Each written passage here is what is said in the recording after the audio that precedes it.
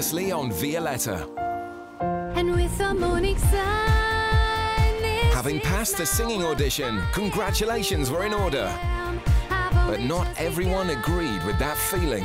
Now Hatred is the only feeling I have at this particular moment. Open up, it's not funny! Poor Violetta, she won't get to the test.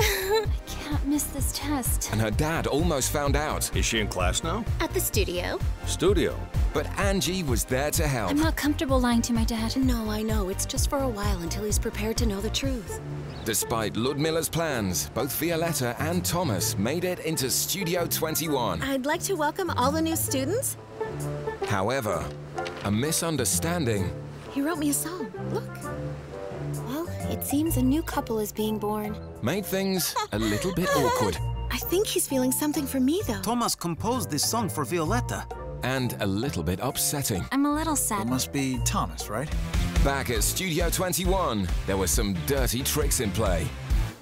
That way it can be anyone.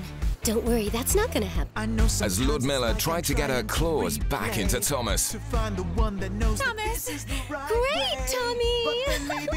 Violetta's loyal friendship to Francesca meant she decided to give up completely on Thomas, It'll never work out with Thomas. Because I couldn't do that to Francesca. which allowed Leon to find his way into her heart. And Ludmilla was sure to tell Thomas. Those two look like they're really in love. It's a surprise. Is he messing with you? No, Leon, we're just talking. Oh, no.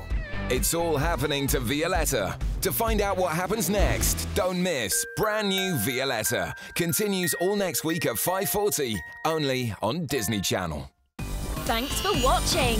Now click left or right for more great shows or subscribe to keep up to date with the latest Disney Channel YouTube clips.